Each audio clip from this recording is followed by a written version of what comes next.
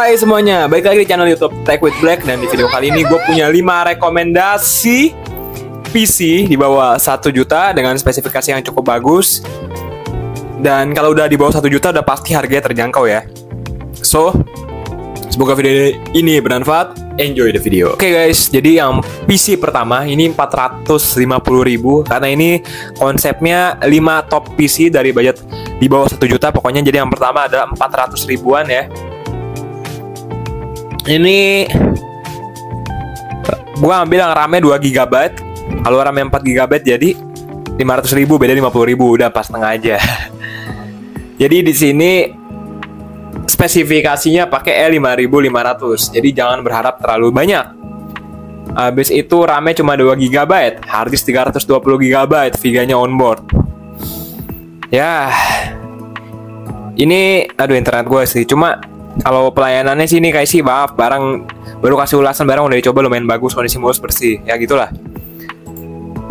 Ini udah tua udah usianya 14 tahun untuk prosesor. Habis itu juga soket LGA 775 45 nanometer 2 cores 2 threads dia integratednya on Curtain motherboard.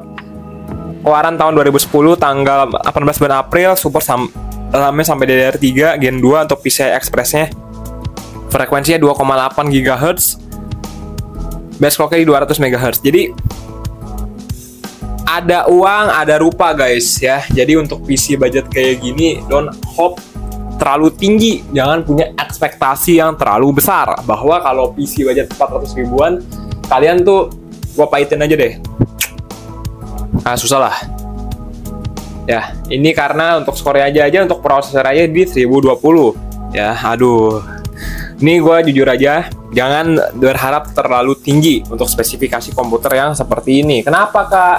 Kan ya, kan boleh dong berharap ya gimana? Berharap ya boleh-boleh aja. Cuma mesti tahu situasi. Ini spek PC eh 5500. Ya, jalan aja udah syukur gitu loh. Ya. Ya udah lanjut lah. Paling kalau upgrade upgrade ke GT 100 aja. Yang kedua ini 500 ribu udah terjual sebanyak 165 unit. Habis itu pakai i3 Gen 2 ya. Ini gua nggak tahu, cuma nanti kayaknya gua bakal ambil yang i3 2120 aja untuk spesifikasinya. RAM-nya pakai DDR3 4 GB.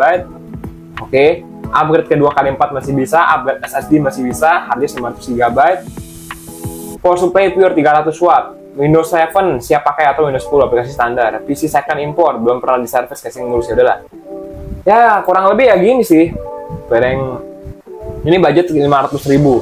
Kalian gue yakin HP yang kalian pegang sekarang atau HP eh pokoknya HP yang kalian pegang sekarang gue yakin pasti di di atas 500 ribu. Ya mungkin kalian uh, eh, HP-nya cuma 300 ribu 200 ribu di zaman sekarang. Palingan kalian pasti ya, semurah-murahnya paling satu jutaan lah.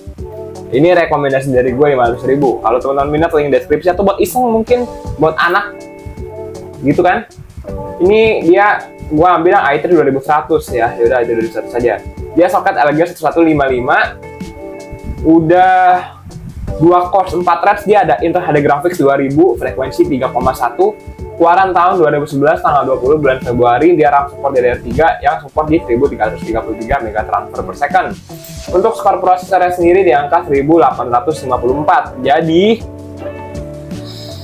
Gua bilang jangan berharap terlalu tinggi. Ini PC budget 500 ribu.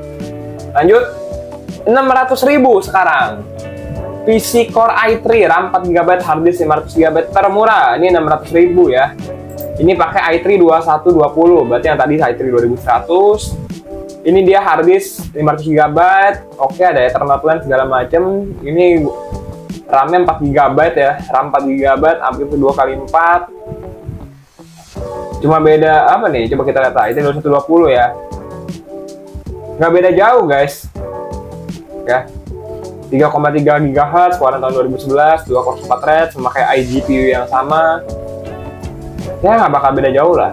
Untuk skornya di angka 1904. Kalau yang tadi beda tipis, nggak sampai yang jomplang. Kalau menurut gua sih ya sama skornya 11 lah, nggak sampai yang paling nggak segini-segini kalau misalkan kalian main Dota pun ya FPS-nya kalau bisa jalan ya. Paling nggak segini-segini juga nggak mungkin sampai yang wah gimana gitu kan. Budget 700 ribu ini adalah PC Core i5 RAM 8GB hard disk 500GB WiFi termurah bergaransi. Uh, oke. okay. I3, i5 Gen 2 ini asumsi gue ada memakai i5 2400 hard disk 8 eh RAM sorry RAM 8GB hard disk 500GB ya pokoknya ngikutin budget kalian aja. Ini adalah spek spek komputer di bawah 1 juta harga murah. Wah ternyata apa nih? Asus 3407 cuma gue nggak tahu ya gue asumsi gue pakai Asus 2400 saja cuma nanti tanya aja tokonya bang ini pakai Asus gen berapa biar lebih jelas juga. Udah kalau Asus 2400 pun dia misalkan pakai ini udah 4 core 4 threads udah 4 core udah hyper threading frekuensi di 3,1 up to 3,4 dia support RAM DDR3 TDP-nya di 95 watt. Ya wajar ya karena dia di 32 nanometer. Kalau untuk prosesornya di angka 3865 cuma nanti tanya aja ke bang yang punya toko. Ini kan kalau gue baca nih di sini ada Core i5 Gen 3 i5 3400 mungkin ya bukan 3407 cuma ya nanti coba tanya aja lah Oke, ini sekarang yang terakhir adalah budget 850.000 jadi dari budget 400 ribu, 500 ribu, 600 ribu, 700 ribu, dan yang terakhir di angka 800 ribuan. Ini adalah PC Lenovo ThinkCentre Tower Core i5 Gen 4, memakai RAM-nya gue ambil 4 GB dengan harddisk 500 GB. Cuma kalau teman-teman misalkan butuh penyimpanan yang besar, ambil yang SSD aja. Cuma ngikutin budget-budget dan ke ngikutin budget teman-teman dan keperluan kalian juga. i5 4570 ini adalah lebih pokoknya ini spek PC ini jauh di atas laptop gue juga ya. Kalau laptop gue dia memakai i3 7100 ya ini Gen 7 sih i3 Gen 7 kalau laptop gue kalau ini dia i5 4570 ya cuma beda tiga generasi. Cuma kita nanti lah dia memakai IGP untuk ada graphics. Coba oh ini sih toko udah trusted sih. Percaya sama gue kalau kalian punya uang lebih ambil ini aja. It is the best one. iPhone 4570 itu dia udah 4 core 4 threads, frekuensi 3,2 up to 3,6, TDP-nya 84 watt, pada tahun 2013 tanggal 2 bulan Juni. Memakai Intel socket LGA 1150 dengan skor di angka 5223 teman-teman. Ya.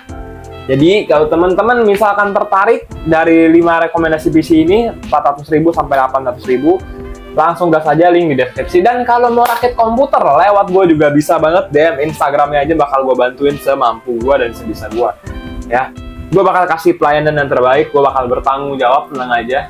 Gue udah kirim ke lima kota ke lima tempat yang berbeda. Puji Tuhan masih ada yang percaya sama gue semoga ke depannya lagi gue bisa lebih belajar dari pengalaman-pengalaman gue yang sebelum-sebelumnya dan menjadi channel YouTube yang lebih baik lagi ya di Indonesia lah terutama. Amin. Yaudah, bye-bye. Semoga kalian sukses terus, sehat selalu.